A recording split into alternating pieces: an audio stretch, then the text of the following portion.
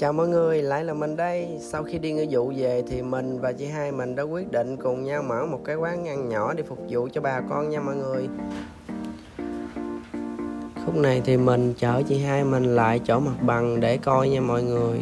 Thì mặt bằng quá là đẹp luôn, nằm cạnh quốc lộ đường nối từ Vị Thủy sang Vị Thanh nha mọi người.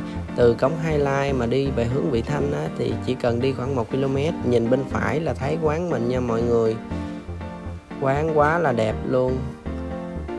Trần quán rất là cao, bước vô trong là mát rượi luôn nha. Mọi người phù hợp buổi trưa mọi người ăn, cũng không thấy nóng nha mọi người.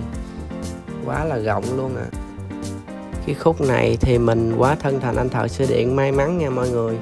Do kinh phí có hạn nên phần lớn những việc mình có thể tự làm thì mình đều tự làm nha mọi người.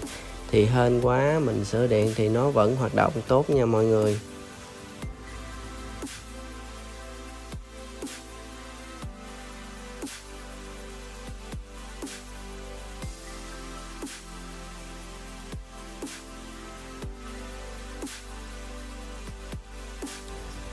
Trời ơi, cái khúc này là vô cùng mỏi tay luôn nha mọi người. Cầm cái máy nặng, muốn nặng hơn mình luôn với mọi người.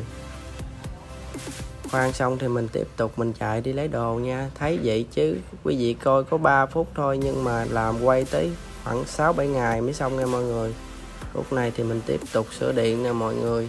Sửa điện xong thì ra, ngồi lại, cái chú giao biển hiệu mà ngồi nửa tiếng rồi chưa thấy chú giao nên mình cũng tính là đi vô tiếp tục sửa điện. Vừa tính đi vô thì trời ơi, chú đã giao tới rồi. Nãy giờ đợi chú lâu dữ lắm luôn. Thì cái biển hiệu này là mình cũng tự làm luôn nha mọi người. Mình tự thiết kế rồi đưa cho bên in quảng cáo người ta in nha mọi người. Nhìn cái biển hiệu có mấy món vậy thôi nha. Nhưng mà khi đến quán của em thì sẽ còn nhiều sự lựa chọn khác nữa nha mọi người. Quán của em thì chú ý khâu vệ sinh rất là kỹ nha mọi người thì đến giai đoạn hiện tại thì quán của em cũng là sắp khai trương rồi nha mọi người. Sau hơn một tuần làm việc, quần quật, quán của tụi em thì khai trương vào ngày 14 tháng 7 nha mọi người. Thì nguyên liệu tụi em chọn rất là kỹ nha mọi người, tại vì tụi em đi đến đâu ăn cũng mong muốn là chỗ đó thức ăn sạch với nguyên liệu ngon đó mọi người. Nên tụi em cũng biết khách hàng của tụi em luôn mong muốn như vậy. Nên mọi người cứ yên tâm khi đến quán em nha dụng cụ đến món ăn đều rất là sạch sẽ nha mọi người.